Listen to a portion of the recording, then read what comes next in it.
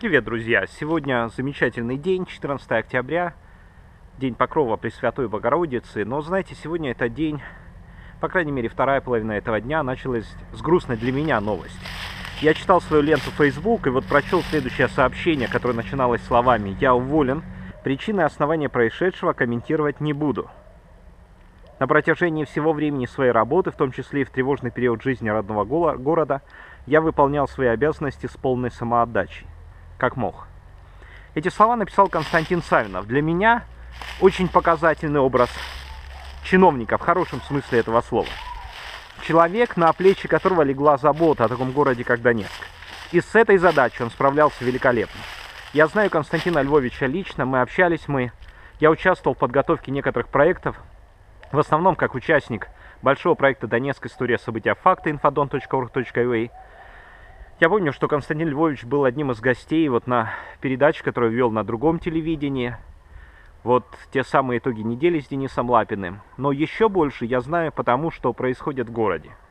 Потому что, честно говоря, вот работа коммунального хозяйства, работа многих ведомств, она была образцово-показательной. Образцово-показательной не в плане, что это была какая-то потемкинская деревня, нечто такое вот, а, какой-то мыльный пузырь, это была настоящая реальная работа. Я помню сообщение одного из людей, в Фейсбуке, когда он пишет, вы знаете, в без 15.12, 31 декабря я увидел машину, которая вывозит мусор. Она подъехала под мой балкон и забрала мусорные баки. И тогда я понял, городское руководство, городское начальство работает. Я искренне не знаю, как Константин Львович так долго находился в городе, не выезжая, контролировал ситуацию. А, все было довольно хорошо. А, конечно, обстрелы, повреждения, но под его чутким руководством бригады быстро, максимально быстро, насколько это было возможно, исправляли все те э, поломки, все то, что было. А вы знаете, вот бываю в родном городе, сейчас я не бываю там все время, но я регулярно, регулярно приезжаю, работаю, занимаюсь какими-то делами. Я спрашивал у разных людей, от водителей такси до продавцов в магазинах, вот что вы думаете, что происходит, как и вот как вы оцениваете вообще работу коммунальных служб? И я вот иногда-то говорил, ну что, ну как они хорошо, не очень работают. И люди говорили, вы знаете, для этих условий они работают очень и очень хорошо. Это настоящий герой нашего времени. И я понимаю, насколько сложно руководить всеми этими процессами. Сейчас трудно сказать, что ждет Донецк в будущем. Что ждет Донецк буквально за один день до официального начала отопительного сезона. Что ждет город, который постоянно подвергается обстрелам. Но с другой стороны, я хочу пожелать удачи Константину Львовичу. И я верю, это начало может быть другого пути, потому что мы знаем, когда открывает, закрывается одна дверь, даст Бог, откроется 10 других дверей.